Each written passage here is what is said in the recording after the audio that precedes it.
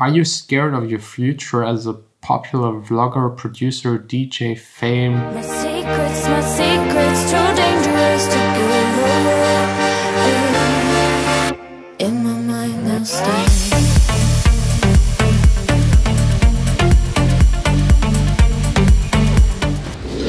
Hey guys, welcome to the vlog. It's yeah, past six. I spent the entire day here in the office with these two fellas, like doing a lot of promotion stuff, a lot of work, a lot of planning, like everything a lot, but um, no music and no video recording because it was actually so busy. So I think it's time for for an emergency Q and A where you guys just ask me questions, I answer them, and anything I forgot. The giveaway, right? Yeah, the giveaway. There is a giveaway. So uh, let's start with the giveaway. The giveaway for for this week, I completely forgot it. We already started last Friday, so you got like half a week left to participate. The iZotope Spire is the giveaway. It's like a little sound card, usually meant for people doing sessions, recording outside. It doesn't need any power. It can hold the power four hours without like any cable. You can plug two mics in, record mobile, have two headphones, phantom power, and it will also very likely be the device that I use for the podcast. Like in the studio, I don't really need it because I have like more professional, sophisticated stuff with eight ins and outs. But for like having it mobile, phantom power, and battery power, that's actually not not bad. So if you're interested, first link in the description to my Instagram and you'll be able to participate. And yeah, question time.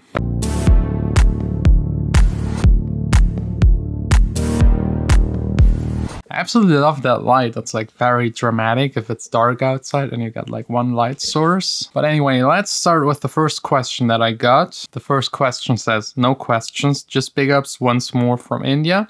Thanks a lot. Cheers to all of my Indian friends. They all told me what the snack in yesterday's video was all about and sounds delicious. I'll try it out. What are the best labels for progressive house? I actually don't really know. I mean, my last song is considered progressive house but the best labels it's changing a lot and i think no I, I can't say maybe just go to beatport check the top 100 be always up there check out who's doing what who's doing the most for the artist and what kind of style you like the most I think uh, Anjunadeep is really good. They do like deep house, progressive house, lane 8. It's really killing it. But like even progressive house has so many sub kind of styles. So you really have to find something specific that fits to whatever you make. What's your number one go-to production technique you use often in your tracks that I use often? I mean, obviously low cutting, EQing, sidechaining, compression, like the standard stuff, the, the fancy stuff I always use Hmm. No, not really. I try to keep it simple and clean and like minimal, but still make it sound big. I think reverbs are really important, so I'd say the Valhalla Vintage Verb, it's on every single track. I don't even open any other reverb plugin. I just like it and I'm so used to it, so I, I know how to set it the way I want it to be. What song would you first play in your dream car? Obviously the song I'm working on at that moment, whenever I get my dream car. My dream car is actually... Uh, Z3 BMW, which is really, really inexpensive. You can get them like for 8,000 euros. So that might be actually something that might work out in the future. I'm not so much about fancy cars, but maybe if I have the cash for some fancy cars, I, I might think about them. By the way, number four in Beatport, yes, my song Secrets reached number four in Beatport, which is really, really amazing. And thanks a lot again for all of the support. Everyone like like cheering me up and, and hoping for me to reach even higher. So if you're interested, the link in the description will lead you to the song Spotify, Apple Music, and of course Beatport. How to make deep voices like Piece of Your Heart by Meduza. That's like the, the biggest hit song at the moment. That is electronic music. It's played on radio, up and down, up and down every single day. And I think it's actually a good song. I, I really like it. It's catchy and still kind of has this underground vibe. To make the voice I think there are a lot of steps involved in making that voice. First, of course, the source, so the singer. You need someone that already has this kind of voice and a trained voice that can manipulate it. Then the next is the key you choose to play the song in and to have the voice in there. And then the microphone. I think for the song they actually used this one right here. It's the Shure SM7B. It's the one that also Michael Jackson used for, for his breakthrough album It is very bass heavy. The closer you go, the bass heavier it will be. That's like a good choice if you want something bass heavy, dark for your productions. For female singer, something bright, something orchestral or stuff like that, I wouldn't recommend it. It's mostly used for podcast, voiceovers, and if you need someone to sing low and bass heavy, that's usually the, the way to go. And then of course the processing with the EQing, you can further alter it then of course with pitching it up and down. But if you don't want it to be pitched up or down, you can of course also use the formant. So most plugins in Logic it's included. There's like a, a shifter, a pitch shifter, it has formant, which changes basically the volume of the lungs or of the body that makes the tone and this way you can make it darker without changing the pitch. Just try it out, it's really amazing. How's ventilation in your studio? I don't see any AC or cooling system. Um, it's Germany, it's cold, we don't need ACs. It's like maybe 10 days per year where it's too warm to work inside, then you just go outside and chill a little. But 90%, 95% of the year, it's like it's dark, cold, and raining. You see, that's like the typical weather in Germany. It's raining a little, it's gray, no sunshine, it's dark already, and it's getting cold. It's not that, that pleasing. Like, uh, if you live in India, the US, and some nice places, it might be warm, you might need an AC in Germany, not. We got, instead of an AC, this huge machine, a huge oil tank, a lot of pumps, just to make sure to keep this place heated. Like, this room right there is like one third of the rent I'm paying, like just just the heating.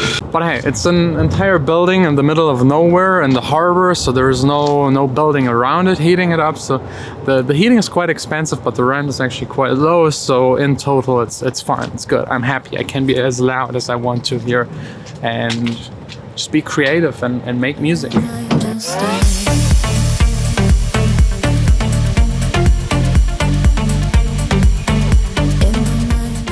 Should I mix while producing or should I wait until the song is finished? It's only finished if you've also mixed it and mastered and made it ready for release. But in general, I personally already mix a little bit while producing because mixing is part of the sound. So I already EQ a little here and there, add distortion, add reverbs. But then once the entire song is there, all of the tracks are in there, all of the elements, I then basically mix it further and more in depth. That's at least my working process. I know some people just do all of the recording and then mix it, but I think for electronic dance music, that's actually not possible. This definitely works if you do recorded stuff for bands and stuff like that, but electronic dance music, you have to mix it at least half while already producing. Black Friday is coming up, so which plugin for mixing is a must-have or would you buy? What's your opinion? I will do a special video about Black Friday deals, all of them, and like let you know where to get what the cheapest and what I would recommend, but I probably need one more week to prepare it. Sometimes when I bounce a song out to MP3 Wave, it does not sound all alike what it sounded like in my DAW any idea how to fix it. Usually it should actually sound better because all of the, the processing is out of the equation. MP3 of course is cutting a lot in the low part of the of the song, but a wave should actually sound better. So maybe check, double check the, the options, maybe reset your DAW to default. Maybe you've set something in a wrong way and then then go through it again. But it, it should actually sound better, more stable no artifacts. How long should someone wait for their second release? I would suggest like two, three months if possible. The shorter, the better. Not closer than a month, because that's just like, just doesn't make a lot of sense. You don't have the time to promote. But yeah, get a song out there. Wait two months, the next one. Two months, the next one. And try to keep that up. At the beginning, very hard to accomplish. I also struggle myself every single time with it but yeah, just as many songs as you can put out in, in a good high quality. What happens if your song becomes number one? I don't know if it, it, gets number one on the progressive house charts. There's still the overall Beatport charts, but I think that's very unlikely. I'm still a way too small artist, but maybe with one of the upcoming album songs. Are you scared of your future as a popular vlogger, producer, DJ, fame? No, actually not. Like, I'm not even thinking about it really or planning ahead for anything to happen. I just live by the day, do the stuff that is necessary, try to push it as hard, do as much stuff as I can possibly do, strategize, do stuff that like just helps me to advance and get rid of the shit that like hinders me from getting further. So no, scared definitely not. Like I think the only thing could be like heavy, heavy, heavy touring. That might be something that I'm not so into. I love DJing. I love performing my songs, like making them and then playing them, seeing directions of the people. It's very fulfilling, but having to DJ every every second day is too much. Because I already got to know a couple of really big famous DJs, and they're then just like empty. Like they just follow what their manager, tour manager says, and just stand there, DJ, next gig, stand there, DJ, next gig, and like, I don't know, that's not so desirable. Do we have any other hobbies than making music or DJing? no, not really actually.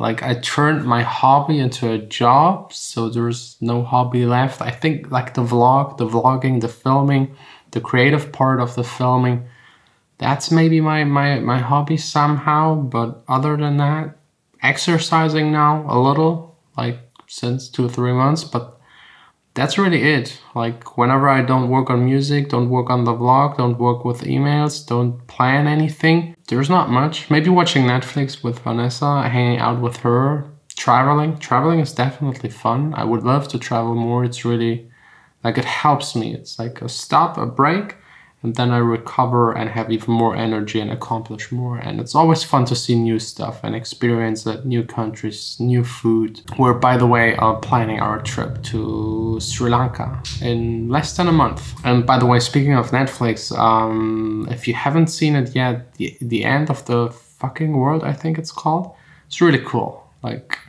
it's short, like 25 minutes each episode, but it's it's really really good, very artistic nice camera, cool story, a little bit like like the old Quentin Tarantino stuff. Does your label release trance? No. Like progressive house, yes, but trance definitely no. But if you're interested, just submit your demo. We will listen to it, give you feedback, and then just see if it fits. How about copyright infringement in clubs? Is it allowed to play music from Martin Garrix, David Guetta? Yes, 100%. You're allowed the club owner usually has to pay like a fee. At least that's the law in Germany. I don't know about other countries, but yeah, definitely allowed. Hmm. My phone just died. so I think it's about time to end this uh, Q&A. Thanks a lot for watching, guys. If you have any questions, just hit me up on Instagram. Once this is charged again, I will try and answer all of them personally. And don't forget about the giveaway also on Instagram. Um, and yeah, that's it. See you tomorrow again Sine out.